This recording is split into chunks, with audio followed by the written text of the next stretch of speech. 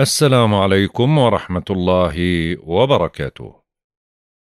اليوم توقعاتنا ليوم الجمعة واحد كانون الأول ديسمبر. طبعا بما أنه اليوم توقعاتنا ليوم الجمعة فجمعة مباركة على الجميع.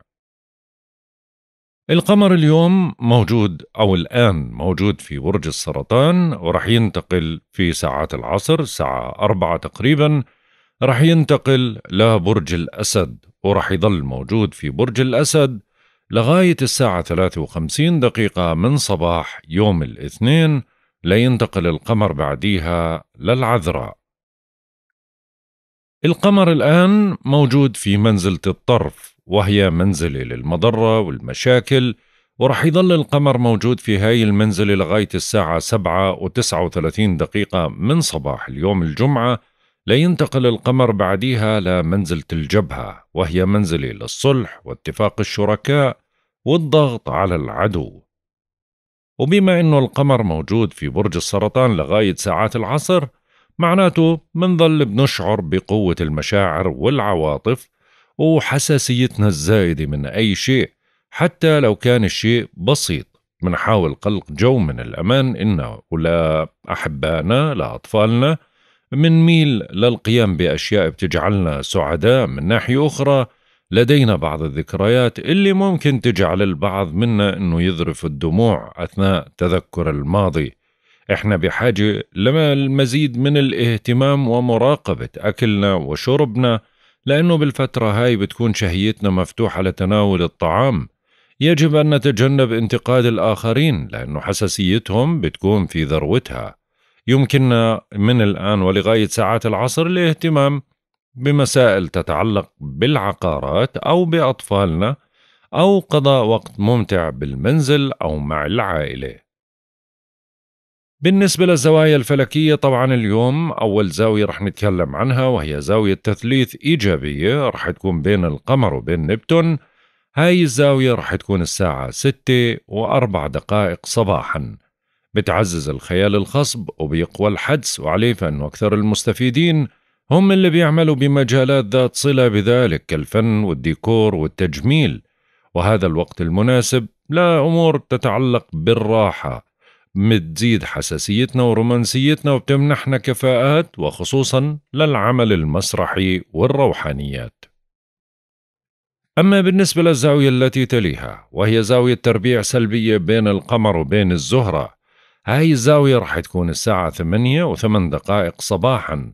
أكثر المتضررين هم اللي بيكون عندهم مشاكل عاطفية لأنهم بيتجهوا من خلال تنفيس من خلال صرف النقود بإسراف دون حساب وبتزيد من ضعفنا وميلنا للفوضى والتقلب. وبرضه بتعمل عنا بعض الرغبات اللي ممكن تؤدي في يعني لخيبات أمل. راقبوا كلامكم وتصرفاتكم لأنه ممكن تؤذوا فيها الآخرين دون أن تشعروا.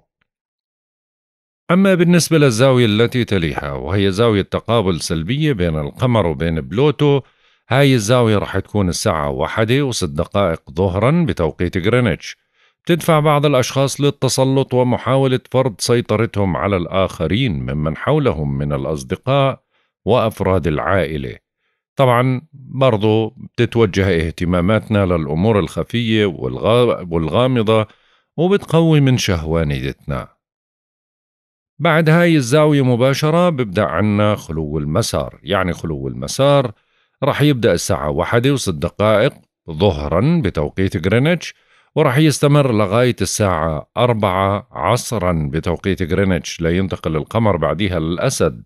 هذا بيعني أنه الفترة المذكورة لا تصلح للبدء بأي عمل جديد أو مهم مثل توقيع عقد أو خطوبة أو زواج.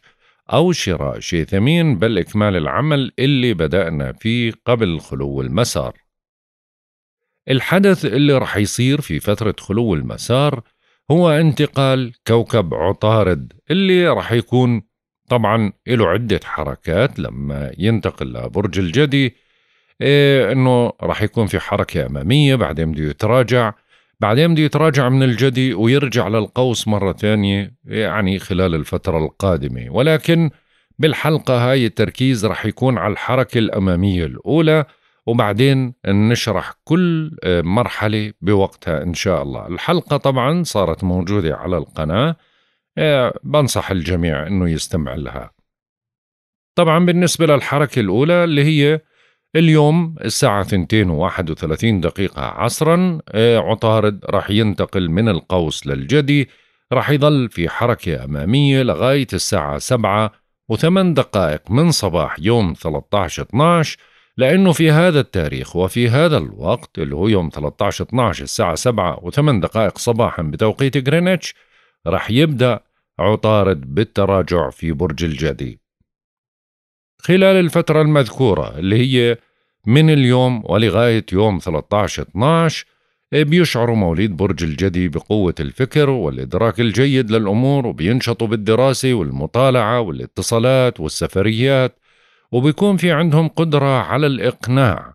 يعني بيقدروا يقنعوا الغير بوجهة نظرهم أكثر من قبل وبيستفيد معهم برضو مواليد الأبراج الترابية والثور والعذراء والمائية اللي هم السرطان والعقرب والحوت. وكل شخص لما انولد كان عطارد موجود عنده في برج الجدي. الساعة أربعة عصرا بتوقيت غرينتش خلص القمر بينتقل وبيستقر في برج الأسد. عشان هيك بنبدأ نشعر إنه الناس من حولنا في هذا الوقت صاروا أكثر كرما مما اعتدنا عليه من الناحية المادية والعاطفية. بينصب التركيز حول الفرح والترفيه والتجميل ممارسة الهوايات ومشاركة العاطفة مع أحبائنا. يمكننا التواصل مع المسؤولين ومحاولة إجراء استفسارات ونصائح بشكل صحيح. وبرضه بإمكاننا تعزيز العلاقة مع أحبائنا وأبنائنا. ويمكننا أن نقترض الأموال. منستثمر ومنشتري المجوهرات الثمينة ومنكون جريئين نرتدي الملابس الأنيقة نهتم بمظهرنا الخارجي اللي بيلفت انتباه الآخرين. بالنسبة للأعضاء اللي في جسمنا الأكثر حساسية خلال هذا اليوم من الآن ولغاية ساعات العصر بضل عنا الأكثر حساسية واللي لازم نوفر لها العناية الإضافية وما نجري لها عمليات جراحية كبرى اللي هي المعدة الكبد الصدر الغشاء المخاطي المبيض الرحم المهبل الثدي غشاء الجنب غشاء الصفاق والجهاز الليمفاوي وعظم الصدر. أما من ساعات العصر وما بعد بتصير الأعضاء الأكثر حساسية عنا القلب الشريان الأورطي الدورة الدموية ضغط الدم معدل ضربات القلب العمود الفقري والظهر والجانبان. بالنسبة لهذا اليوم يعني ما في أي مشاكل لإجراء العمليات الجراحية بدون الأعضاء اللي ذكرناها وبالأوقات اللي ذكرناها ومش بوقت خلو المسار. طبعا بالنسبة لعمليات التجميل ما يعني ما في أي مشكلة للحقن والجراحة ولكن مش بفترة خلو المسار. يصلح هذا اليوم لإزالة الشعر الزائد يصلح لقص الشعر التجميلي والصبغ ولكنه لا يصلح للقص العلاجي.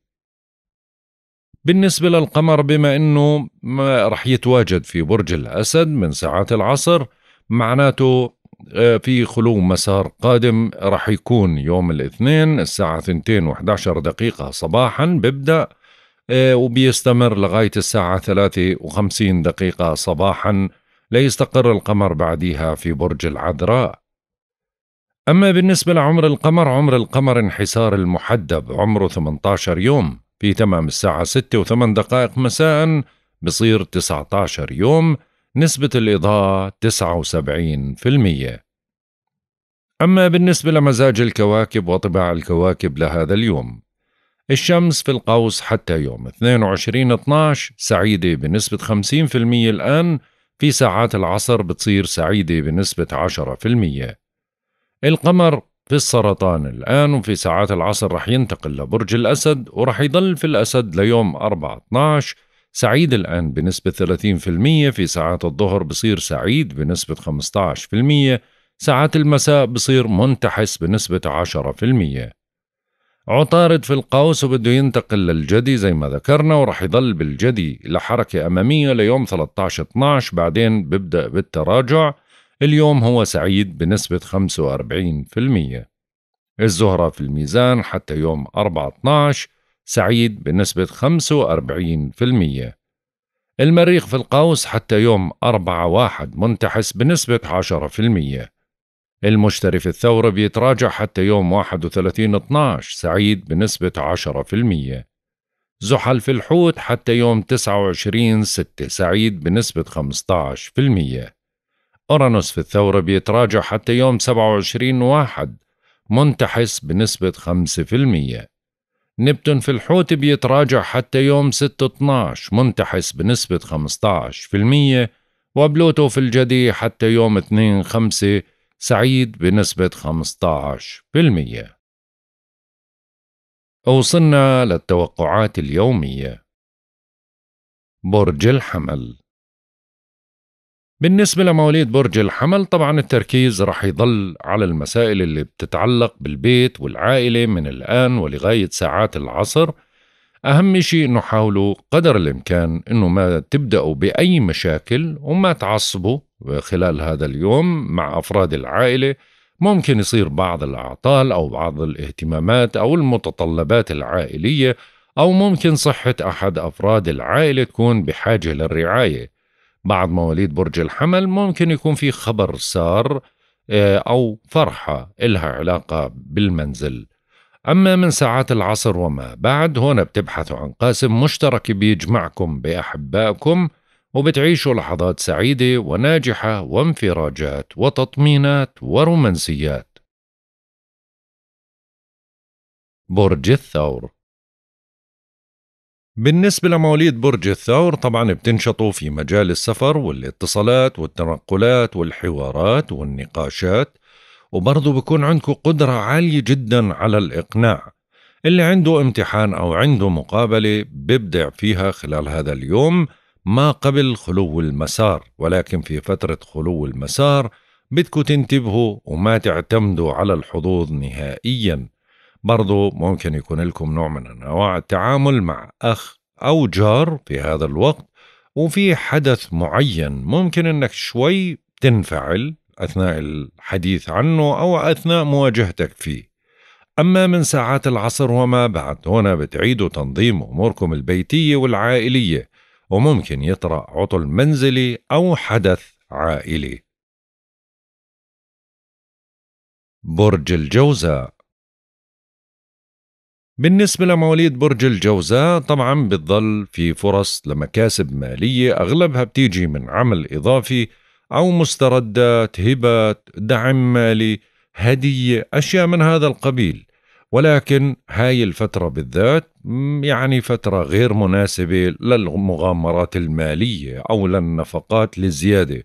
فراقبوا مصاريفكم وبرضو انتبهوا على أموالكم من السرقة أو الضياع. بظل في نوع من أنواع النشاط العالي جدا اليوم على المستوى المالي كفواتير أو دفعات أو أشياء من هذا القبيل لغاية ساعات العصر. أما من ساعات العصر وما بعد هنا بتنشطوا بالحركة بالسفريات بالاتصالات بالحوارات بالنقاشات ولكن بدكم تكونوا أكثر وعيا على الطرقات. برج السرطان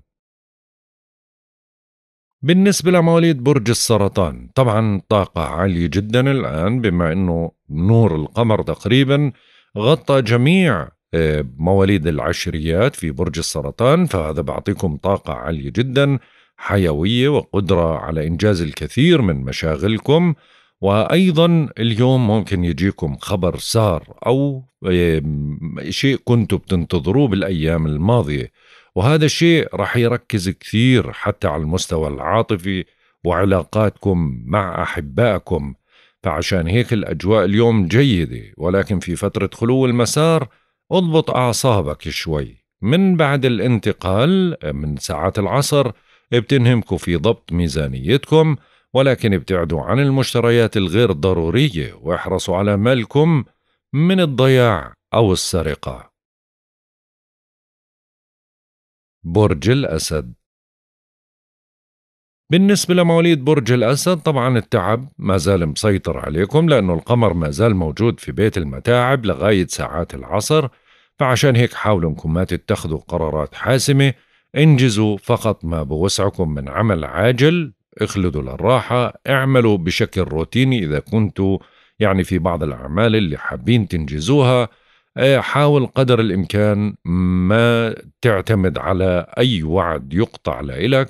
تفقد الأوقات أو الوعود أو الحجوزات بمعنى آخر لأنه عادي ممكن يلغى. أما من ساعات العصر وما بعد هنا بتبلشوا تمتلئوا نشاط وحيوية بتنقلب بعض الخيارات والتوجهات لتناسب وضعك الحالي.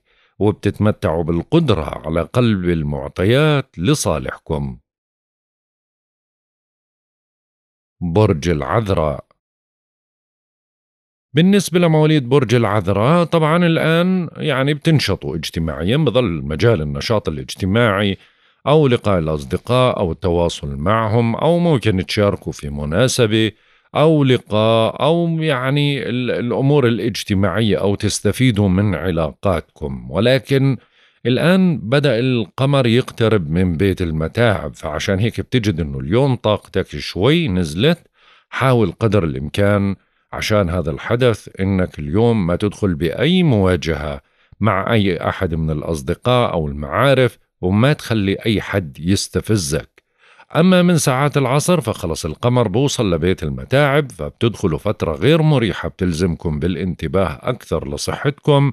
لا توقعوا على عقد ولا تحسموا أمر لأنها فترة سلبية وفارغة من الطاقة والحظ. برج الميزان. بالنسبة لمواليد برج الميزان طبعا بتتركز جهودكم نحو عملكم وعلاقاتكم بالمسؤولين. وبوسعكم إثبات جدارتكم والدفع بمصالحكم. برضو الأجواء بتضل جيدة على مستوى الأمور اللي الأشخاص اللي بيبحثوا عن عمل أو بدهم يقدموا طلبات عمل. وبرضو جيدة لإتمام بعض الأمور اللي أنت بتكون تسعى للترقية أو لمنصب أو لتكريم مثلا. ولكن ديروا بالكم هذا بيت السمعة. بيقول لك ما تجازف وما تغامر وما تخالف القوانين وما تشوه سمعتك بأي تصرف. من ساعات العصر وما بعد هنا بتنشطوا بين الأصدقاء منكم أشخاص ممكن يشارك في حفلة أو مناسبة أو يتوجه له دعوة مثلا أو يكون في لقاء غير طبيعي ما بينك وبين أحد الأصدقاء أو اتصال أو أحد المعارف. برج العقرب. بالنسبة لمواليد برج العقرب طبعا النشاط عالي جدا اليوم برضو بالاتصالات البعيدة أو التعامل مع أجانب أو بمسائل تتعلق بالسفر أو أوراق سفر أو أشخاص زي ما حكينا خارج البلاد وبرضه على مستوى الدراسة الجامعية والامتحانات والأمور اللي إلها علاقة بالأوراق والمعاملات القانونية أو القضايا.